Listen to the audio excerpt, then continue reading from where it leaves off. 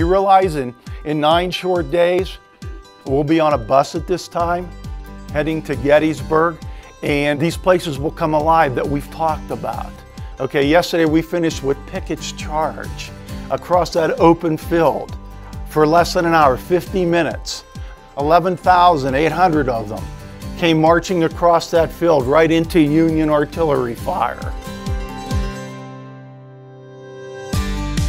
For the last two summers through the Lawrence County Historical Society, we've provided a youth program on the Civil War.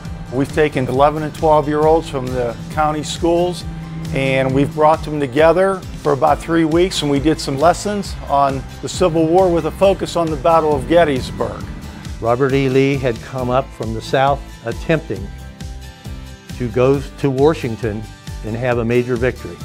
And a little town called Gettysburg, a crossroad, with about 2,000 people. And the Union forces realized that this is where it's going to happen. Mount Jackson was the main town that Battery B members came from.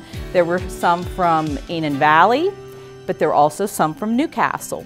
But this uniform, the red, means artillery. They had red trim on everything, even on the back. And these pants were pretty much issue that everybody else wore. The infantry, um, it was the, the blue, but it had a light blue stripe.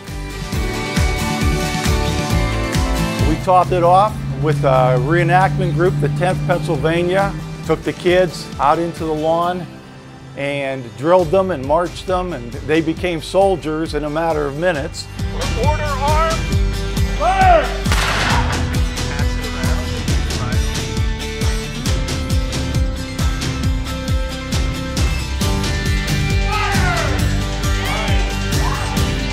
We topped this whole class off with a trip down to Gettysburg.